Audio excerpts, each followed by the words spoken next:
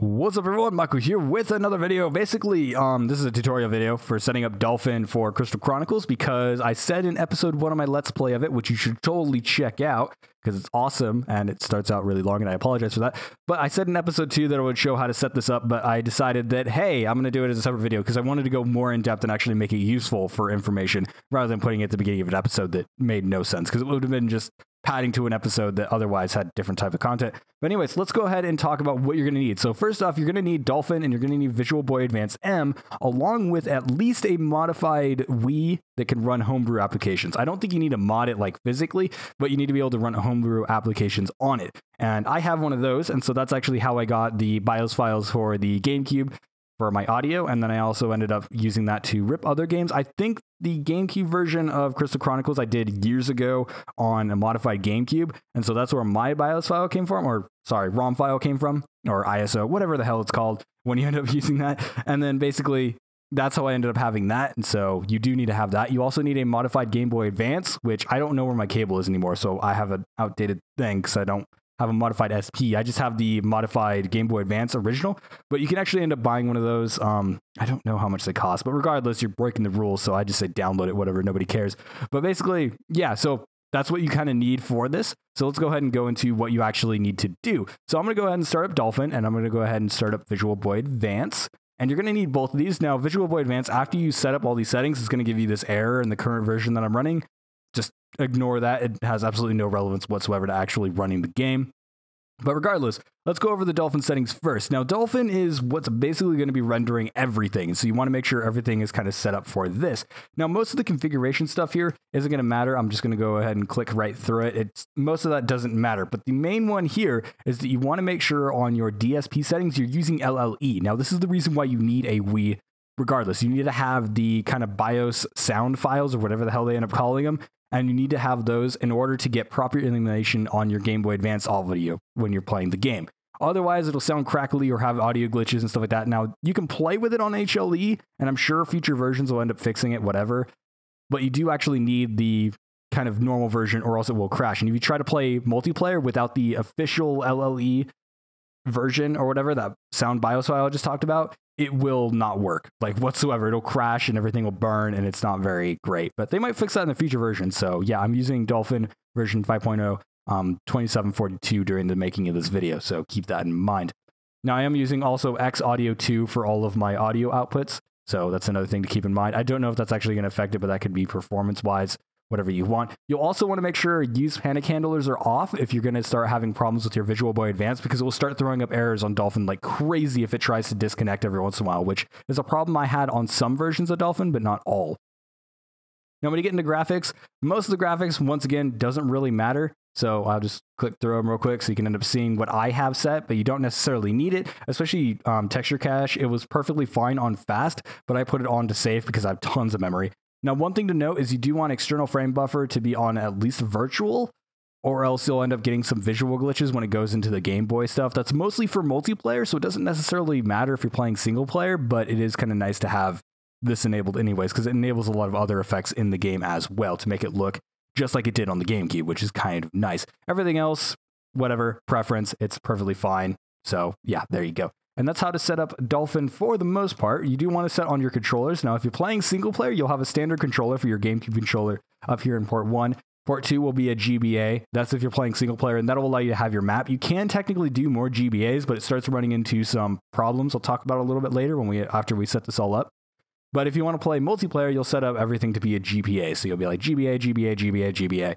And then there's a specific way to set it up. I'll show that after I do the single player setup. So we'll do capture controller, there we go. And do make sure to have your stuff configured the way that you want it. And you do want background input as well if you plan to have any sort of controls with the uh, Game Boy Advance, because the Game Boy Advance emulator, at least at the stage that I'm using it at, will only take keyboard inputs if it is actually the front window. All right, so now we're almost done actually for setting this up. So do make sure to have your ISO slash ROM file slash GC, I think is the other version. I don't I don't know. Mine ripped as an ISO, so there we go. But anyways, go over to your Visual Boy Advance, or maybe I converted. I think I converted it to an ISO. It ripped as a special file, and then you had to use soft. I don't know. That was years ago. Anyways, sorry, that's semantics. Um, so yeah, Visual Boy Advance. So there's a few things that you want to set on here. So first things first, go to Options, go to Link, and then the link type you want to have lo- local mode and link at boot on and I use the speed hack, which some people recommend not, but it seems like in the current version it works perfectly fine and it seems to actually help with speed a lot. And so that is good. Make sure your type or type of connection is GameCube. Now, these local mode and link at boot things don't necessarily seem to really affect much. I've actually had them turned off and it hasn't done anything. You can also configure latency. Once again, I haven't noticed it actually affecting anything. I did notice if I set latency over um, a thousand, then it would start, if it ever like disconnected from the emulator, it would start to like stutter a bit on the Game Boy Advance side, but it literally had no effect whatsoever on the other stuff. Video and audio settings doesn't matter, but since I'm setting up for recording, I'm to do this real quick because something that I'm doing for my input thing. There we go. So that's that's completely relevant. But yeah, so the next things you want to do is go to your general tab and basically on here, you can set down your throttle. What you can do is you can either leave it at 100%, which will mean it stays at I think 6 FPS when you're at game. However, you can do no throttle. And then when you speed up the GameCube, it'll actually speed up the Game Boy Advance visuals as well, which is kind of a trade off. I have it on 100% right now because it looks more visually appealing. However, you can't end up on throttling it. The other thing, once we end it started, we're going to want to turn on turbo mode. And what this is going to do is it's going to allow it to run at a higher um, clock speed than normally would, which you need that for the emulator, or else it'll end up botching down Dolphin because the Dolphin will only run as fast as the Visual Boy Advance will, which Visual Boy Advance itself is not that heavy when we're running this, but it will be pretty much kind of whatever. And then auto skip frames, I have enabled so that it'll skip frames and everything like that, whatever, whatever. And that's all we need to set up for this. You will want to reboot it after changing the link stuff. Also, make sure your inputs are not your controller, else you'll be controlling the Game Boy Advance and the GameCube controller at the same time, which can cause performance issues. In the Game Boy Advance tab, now we want to set up our BIOS. So you want to be configure, go to your ROM file, and this is where you're going to put your Game Boy BIOS. And then basically you go into your, um, once again, Game Boy Advance options, you go to use BIOS file. And then when you end up doing that, you want to actually, once again, restart it. And then you go to open and you want to find your BIOS file that is in there. And so basically we'll load that up, load, load, load. And I have another version, but I'm going to use this version, which I think is from an SP. Yes, loading. It's going to take a while to load because I don't know why. I don't think everyone has this problem, but my Visual Boy Advance is just incredibly slow to load and move and everything like that. And I think it's the way that it's emulated. Anyways, we're gonna get that classic sound. Now it's gonna come from the right side of the ear or whatever. Um, don't worry, it always comes through both. Normally, that's what I was just setting up in the audio settings for whatever. Anyway, so now it is set up to connect to Dolphin. Now you can start it up before or after you start up the game because that's just the way that Dolphin works. It supports hot plugging, which is pretty cool. But anyways, so now we end up starting up the game. So now we have it load in. And then you'll see over here, this went unresponsive and it'll actually end up setting up quite nicely real quick. It'll do the whole little Nintendo thing, like just like it did on the Game Boy Advance, which is actually pretty cool, by the way. Anyway, so here we are in game, and then you'll get this little screen. And then basically, when we go into game, it'll end up swapping over to a single player thing. I can go ahead and swap over my screens to however I end up setting it up to record. I like to do this thing to where I make it absolutely optimal, so the best quality possible pixel perfect, pixel perfect, pixel perfect. And then I like to set this thing up. You can do this whatever way that you want, but that's how I end up doing mine. And then basically, if we load into game, Oop, it stuttered there. It's going to stutter a lot when you first end up setting it up because, once again, the Game Boy Advance, it only runs as fast. Now, I have background input for both of them set on, so I can do this. Now, one thing to note with the input on here is if I want to use keyboard inputs for the um, Game Boy Advance. Now, in single player, you don't actually control anything, but this is why you want background input because if somebody's using, like, let's say you're playing multiplayer and you want to use the Game Boy um, Advance, the gamepad seems to work in background input. I'll just load up the one I did for Let's Plays. And so that's perfectly fine. However, basically, if you want to actually have like a second player using the keyboard, you'll need to be able to use the keyboard and whatever. So yeah, we can basically go in game and you'll end up seeing it stutter a little bit. So one graphical glitch that you have is like it says waiting for connection and it'll kind of like plop up and down. Now in the, uh, basically in the Game Boy Advance thing, there you go. You see the little mini map? It's going to freeze up real quick. There we go. So it kind of freezes up when it initializes. So normally what I'll do is I'll start up a game and then go back and then set up all my recording stuff. But yeah, so basically, um, yeah, what was I saying? Oh yeah, um, it'll stutter up because of that whole, um, loading thing and has to initialize what it's going to be sending and it'll actually switch over because originally since it was in slot 2 it's going to show that it's player 2 and so yeah but basically this works perfectly fine and this is how I've been kind of doing it you can end up looking at the performance and everything like that And obviously, we want to go to emulation and go to turbo mode. And then that will allow us to actually go up to, I think, 300 times speed or something like that. Yeah, there we go. Now we can actually speed up the game without it hatching. But if I go ahead and turn that off, if I go to emulation turbo mode, then you'll notice that I can't go above 100% because it's not allowing me to actually go over that amount in the clock speeds of the Game Boy Advance. So basically, if your Game Boy Advance emulator is not running well, which this one absolutely runs terribly, by the way, I just want to point that out. There are better Game Boy Advance emulators. So if you want a better Game Boy Advance emulator, go look at other ones. But um, yeah, for the most part, this works. And so I haven't really found any major glitches. Every once in a while, it stutters when the Game Boy Advance kind of disconnects from Dolphin, which seems to be a build issue and not necessarily a problem in the long term or anything like that. So it'll get fixed eventually. But yeah, from that point, it pretty much works. Now, to be able to set up multiple players, so if we go ahead and reset our Dolphin here, let me go ahead and I like to pause it and then reset. And then basically we'll need to close this. So basically, if you ever want to like reconfigure it, you're going to need to disconnect the Game Boy Advance, which is pretty unfortunate. Actually, I think I need to stop the emulation for this to work. So in order to get two of them working, I need to start up two Visual Boy Advances. This is to get multiplayer working, by the way. And this will end up doing this whole little bug thing. You'll get it for both of them.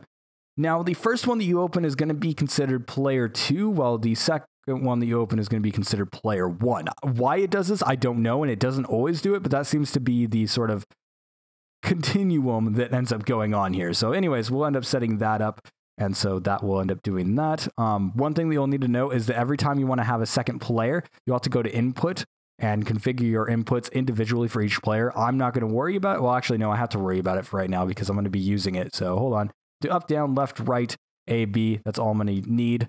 Okay. And then you also, well, actually, no, I need my, um, I need select as well. The multiplayer in this game is actually really cool, by the way, if you've never played it. Oops. I want to clear that. Backspace. And then right trigger. I don't know why it does that. It's so annoying. But anyways, oops. Back and back and then select and start. There we go. So that, now that one's configured, then we go to options and configure this one as well. So we'll go to input and configure. I'm just going to do clear and then up, down, left, right. Um, I'll do my friend's configuration that he loves to use for whatever strange reason. That's the configuration he likes. But anyway, so now once we have that set up, we'll go ahead and start up Final Fantasy Chronicles. And we did go into controllers and set two GBAs, by the way. So you want to make sure that is set up before you start the game. And now, when this ends up launching, we can go to File, Open, BIOS file. You can also open the BIOS files before you start up Crystal Chronicles. But I found that when you do that, it runs into some glitches. So we have that open. You can also use open recent, by the way. Um, I don't because my list is long, and so I'm not worrying about it. Um, but yeah, so basically that'll start up. One of them will start up at a time. It can't read from a BIOS file from two emulators at the same time for whatever reason. Once again, that's probably something they coded in. Um, but regardless, so there we go. The second emulator that we started up is going to be player one, as I mentioned. And then the other one is going to be player two. So player one is blue, player two is red. Um, player three is it green, I think? I don't remember. But anyways, so there we go. We got that set up. I'll just do a really basic setup for this. There we go. Set this one down here. Now when we go into game, load game, whatever, multiplayer mode. Oh, man, I don't have a multiplayer save on here. Ah, whatever. We'll just go ahead and start up.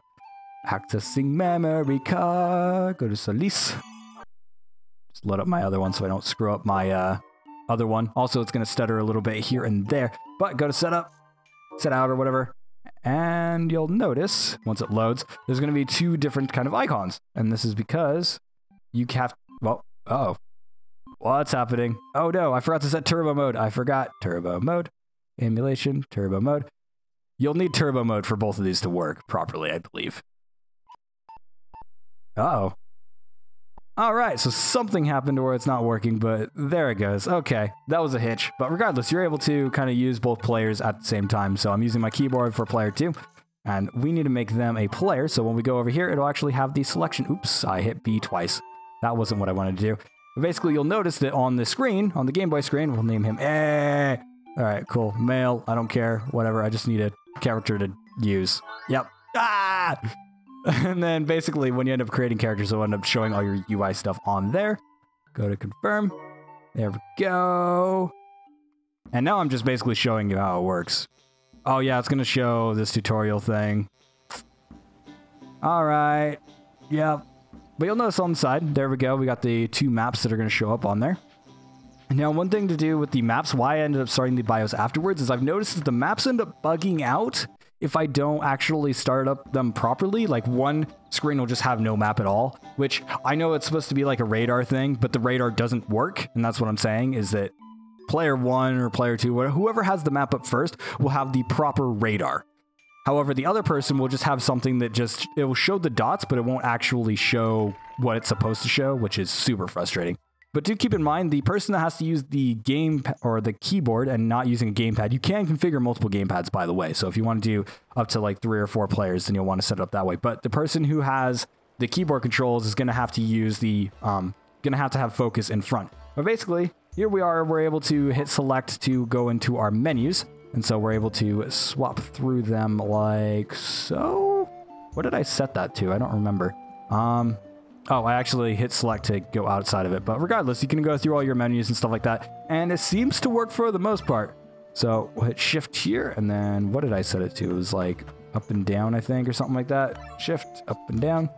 And yeah, so it works. It, it sort of works. Now, one caveat that I do have with this is this simple little thing right here. Now, you'll notice when I'm moving sometimes, my game will kind of stutter. If I hold down A, it might do it, it might not. But sometimes what it'll do is it'll have problems with the input, and so you'll notice that the character is stuttering here. Now, this is one problem with the current build. You can use an earlier build to fix this, but essentially what it does is it kind of skips around and sometimes the effects don't hold down. So my controller is able to hold properly, whereas my other character is not able to because I'm holding down the key right now. It's supposed to charge and it won't charge properly. So there are some caveats with using multiplayer, as I said earlier, but if you use a build, I think it's like 4.0 and then dev build like 5,000 or some ridiculous number like that, it ended up working perfectly fine, but then I ended up getting audio glitches, which is something that I couldn't stand. So, uh, yeah, but there you go. That's how you set up Final Fantasy Crystal Chronicles on Dolphin and Game Boy Advanced M or whatever. VBA. VBA M. There we go. I, I couldn't even say it. Anyway, so thank you guys so much for watching. Make sure to like, comment, and subscribe for more content like this one. I don't do these very often. I might do more of them if you guys are interested. But yeah, so basically that's how you end up setting Dolphin up with the Final Fantasy Crystal Chronicles. If you want to see more tutorials like this want to know more in-depth information about this type of stuff, do make sure to send it my way. Send those thoughts, send those ideas, and anything that I end up missing, leave those in the comments as well. Maybe you know a fix to this little stuttering problem that I have with some characters, which it does it sometimes and doesn't others. It's very, very strange. One thing that I noticed is you can technically close it down and reopen it over and over again until it works, and then you're perfectly fine. Um, otherwise, yeah, but it works. It works well, actually. It works a lot better than I thought it was going to, which is surprising. So I'm able to actually go through all the menus and stuff, and the game is perfectly playable. And you may see the kind of like Game Boy Advance stuttering and stuff like that, like that, but that's actually how the game was on the Game Boy as well, or the GameCube as well. And now you'll notice that I'm stuttering now as well. So I don't, I think it has something to do with like the switching over, I think, maybe. Oh, now I can't even go into the menu. Yeah, so the multiplayer, I'm just going to say doesn't work. But regardless, thank you guys so much for watching. And you can also check out my other types of videos as well. I do impressions reviews. I do Let's Plays. One Let's Play is of Final Fantasy Crystal Chronicles if you're interested in the game itself. And you could also end up checking out my impressions review series, which the most recent one I did was for Ori and the Blind Forest. So yeah, once again, an amazing game. My thing broke. There it goes. Yeah, the Game Boy, it does not like running more than one Game Boy. It runs perfectly fine with one Game Boy, but two of them, not so much. I hope Dolphin ends up fixing that at some point. And I think I'm stuttering now because I'm running out of storage uh, space on my recording drive. So, uh, yeah, I should probably end this soon. Anyways, thank you guys so much for watching, and I'll see you guys in the next video slash tutorial slash whatever the hell it ends up being. Stop it! Stop it! I wanted to make that a smooth transition, not a freezy one.